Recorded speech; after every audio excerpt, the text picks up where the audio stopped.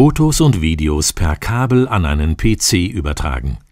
Am Beispiel der Samsung NX1. In diesem Video zeigen wir Ihnen, wie Sie Ihre Kamera als Wechseldatenträger anschließen, um Daten auf Ihren Computer zu überspielen. Achten Sie darauf, dass Ihre NX1 ausgeschaltet ist.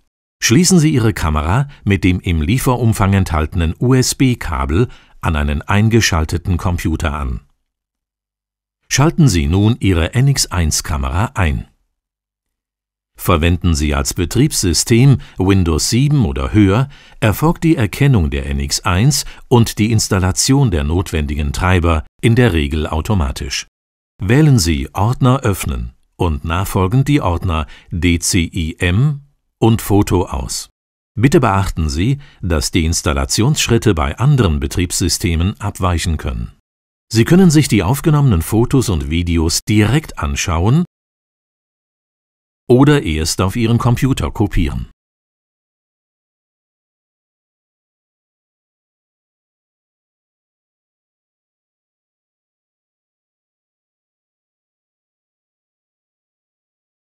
Bevor Sie die Verbindung zwischen Ihrer Kamera und dem Computer trennen, vergewissern Sie sich, dass kein Datenaustausch mehr stattfindet.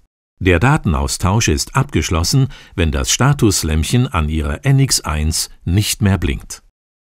Klicken Sie unten rechts in der Taskleiste des Computerbildschirms auf das Symbol zum sicheren Entfernen von Hardware. Bitte beachten Sie, dass die Vorgehensweise bei anderen Betriebssystemen abweichen kann. Die USB-Verbindung kann nun getrennt werden. Schauen Sie sich auch unsere anderen Tipps und Tricks Videos zum Thema Systemkamera an